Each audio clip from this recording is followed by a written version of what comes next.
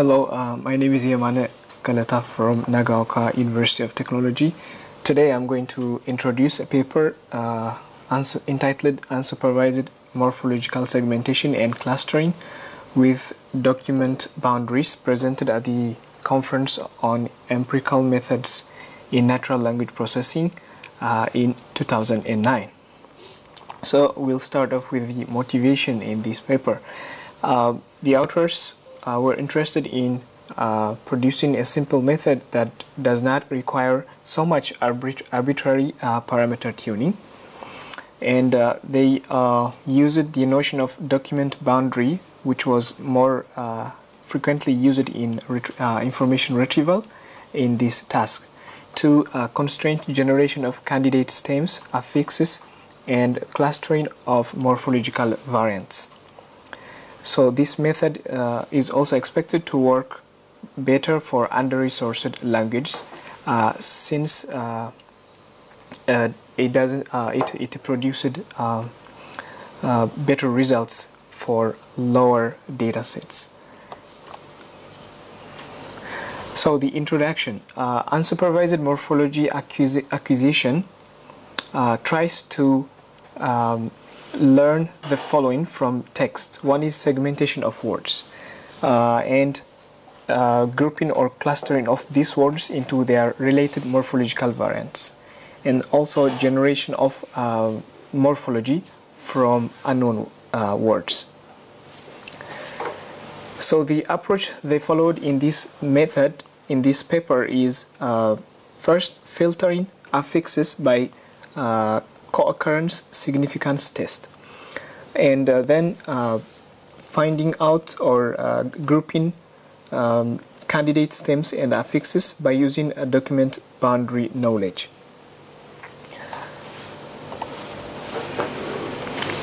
So the intuition they followed in this paper is uh, they uh, hypothesized that if words are found in, in a single document or in similar context, uh, they are bound to be very similar and if they are also uh, similar in orthography then uh, these words may be related also uh, morphologically because they are all, they are found in the same document. So they performed a statistical correlation tests which is a very simple chi-square test chi uh, test and they try to find out the correlation if there is any correlation between uh, words which are found in the same document and if these uh, words have the similar uh, if they are uh, found in the same uh, document they might have some kind of morphological similarity. So that's the intuition. And the languages that they experimented with are English and also a low resource uh, language uh, called Uspanteko and the results shown were better when compared to existing methods so the main challenge in uh, unsupervised acquisition of morphology is one is uh, distinction between derivational and inflectional morphology. In derivation, derivational uh, morphology, uh, words are derivated and they have a different part of, uh, part of speech tag from their origin. And but in inflectional morphology are words which are only inflected for attributes or properties. Uh, so there is this distinction uh, challenge when we uh, do unsupervised acquisition of morphology. And another thing is whether uh, or what is the actual boundary of words which have similar prefixes or suffixes. So there is ambiguity in segmentation of words. These examples here given are altimeter and uh, altitude. So altitude in English is considered as a single word, but altimeter is considered as a as having two syllables. So there is ambiguity in segmentation. And also, uh, while doing the clustering, in this method, they are assuming that words which are related in meaning uh, having similar morpho morpho morphology should be clustered in the same group. So, for example, how about words which are uh, antonyms or having uh, opposite meaning? Do you cluster them into the same group or not because they have also morphological similarity so these are some of the challenges so uh, while uh, uh, um, developing the model, uh, the goal was to generate conflation sets. And but what what it means by conflation sets is words uh, uh, that are related through inflection or derivational morphology. So these words are called uh, conflation sets, and the goal was to generate these words. So there are some steps followed for uh, generating the model. So the first one is generating candidates of uh, affixes and stems by using uh, a trie, uh, suffix and prefix tries. And then after generating stems and uh, affixes, because there will be also noise generated along with the uh, normal generation step, then the second step is to filter out the actual candidates for stems and uh, affixes by uh, performing a simple statistical significance of uh, uh, correlation uh, statistics of the morphemes or the affixes and the stems. After that, uh, similar or uh, uh, affixes which have similar, which are similar to each other are going to be clustered. First, there will be a, a pairwise clustering and uh, after that, uh, these pairs are uh, again clustered into a more general similar groups. And finally, these the similar words are going to be clustered together and these are going to form the conflation sets or the required morphologically and, der and derivationally similar words. So if we look at these stages one by one, uh, the first one is candidate generation. So as uh, said earlier, the assumption here is that uh, words which are found in a single document uh, have some kind of morphological relatedness. So natural document boundaries would be uh, useful here to form a constraint of, uh, uh, of uh, separating words which are really morphologically related or just orthographically related. So the noise here is some words which are orthographically related uh, are also going to be returned as uh, responses uh, by only doing the candidate generation step. So uh, these document boundaries will be used to um, to separate out the words which have some kind of um, ortho orthographical uh, relation but not necessarily morphologically related. And this intuition is um, observed from another paper by Yarowsky in 1995 used for uh, word sense disambiguation. So as, as an example here, these words assuage and assume have uh, different are different in, in meaning, but if we uh, calculate corpus-wide statistics, maybe uh, these words could uh, uh, hint that the prefix ASSU uh, uh, maybe they share the same prefix, though they are um, uh, they have different meaning. So what our target is, that the target in this paper is uh, to find words which are related in morphology, such as assuming, assumed, and assumes.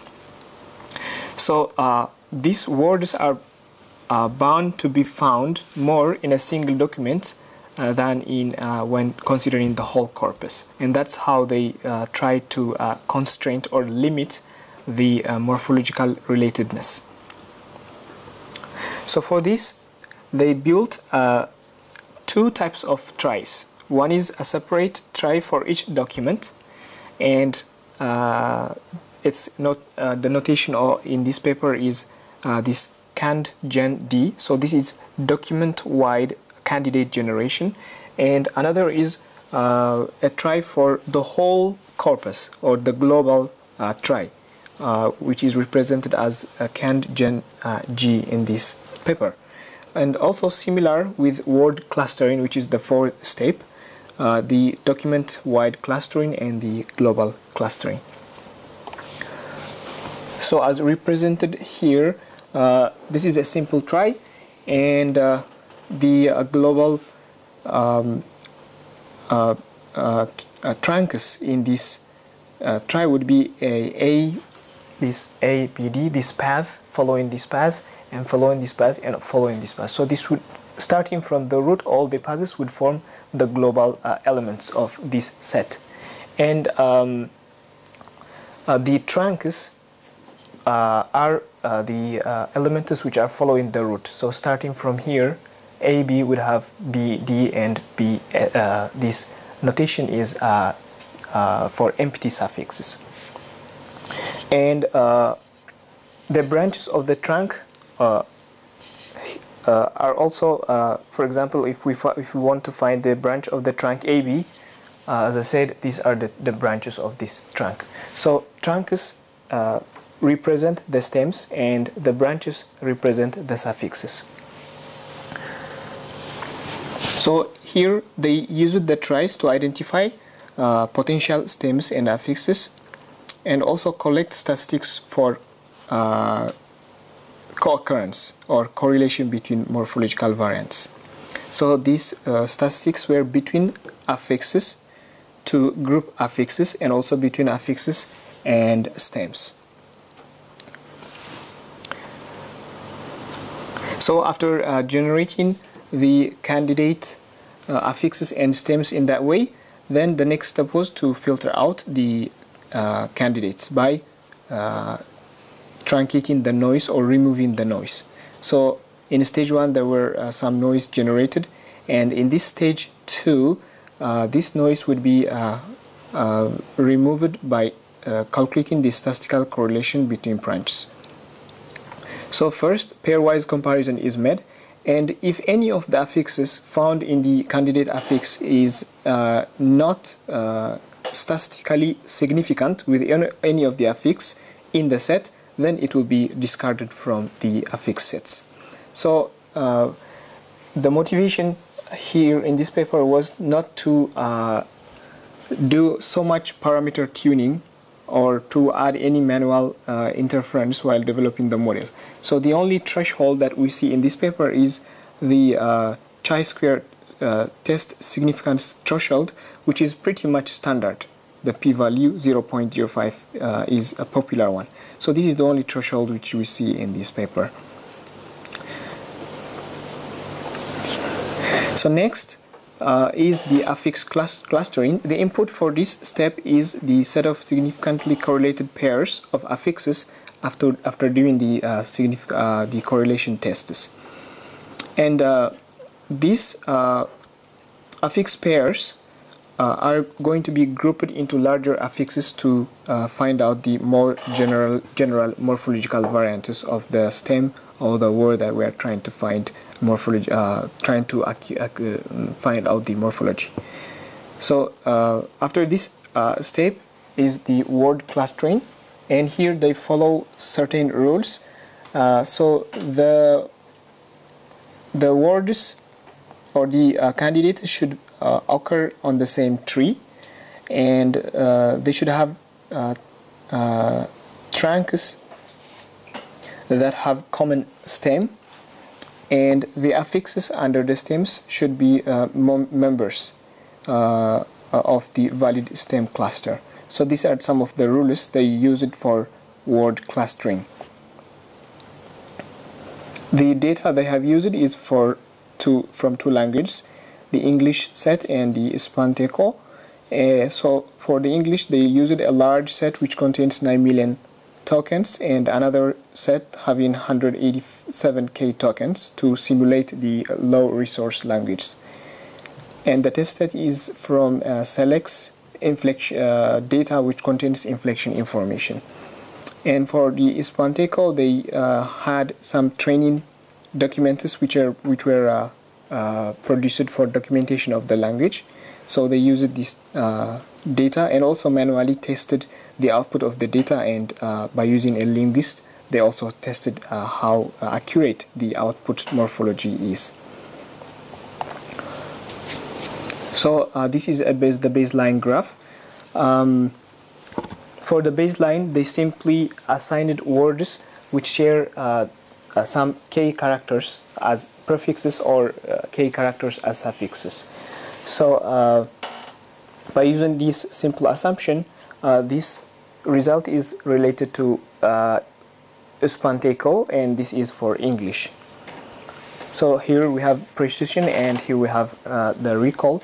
And as we can see here for English, uh, um, uh, this is 100% precision. For, so for, by using only this baseline method, the simple assumption of uh, taking first characters uh, to cluster uh, words, they achieved a good score for English. But for this morphologically complex language, this method was not enough. So uh, generally when the k, the, the number of characters is small, there is high recall because uh, there is there will be more coverage when using uh, only few uh, characters as uh, as input for the suffixes or the prefixes. There will be high coverage, so high recall. And uh, if the number of characters increases, then the precision also increases, as we can see here. So um, this was the baseline and the evaluation is uh, will be presented uh, separate for English and for the other language. So uh, they used these uh, calculations for recall, precision, and F-score. Um, and from this table, uh, we can see that uh, there are two sets. This is mini, the, the, the, smaller tests um, data set, and this is the larger data set the text is extracted from New York Times newspaper. So um, as we can see from here, uh, these are the different combinations of the generation and clustering. So here we have candidate generation document-wise and cluster uh, um, uh, clustering by uh, global uh, or corpus-wide clustering. So uh, as the assumption of the paper goes, uh, we could have, we should expect high results at this line because uh, document uh, using the document uh, boundaries or knowledge of the documents should uh, generate a better model by by uh, reducing the noise in in the model.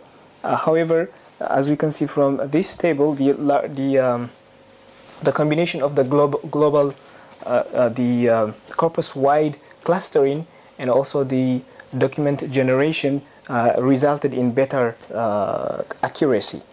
So generally, the precision is higher for lower size. In this part of the table, we see the highest precision here, and the recall is higher um, uh, in here when considering only this uh, data. So when uh, the document wide generation is used, we have high recall.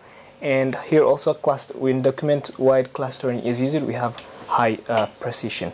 So somehow the uh, document uh, boundaries are, uh, have contributed to the higher precision and higher coverage, but not only these document constraints, but uh, when they are combined with uh, the uh, corpus-wide correlation statistics also.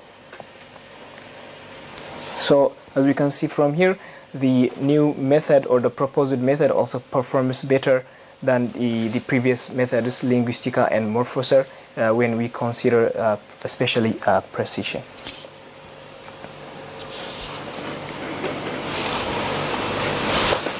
So for uh, Uspanteko, um, this is manually uh, tested evaluation and this is a machine tested evaluation. And here also we see similar trend. Uh, the members, the cluster membership uh, is better when the generation of uh, when the um, candidate generation using document-wise uh, statistics is used. We have better membership of uh, clustering, which is morphology, uh, better morphological variants are formed.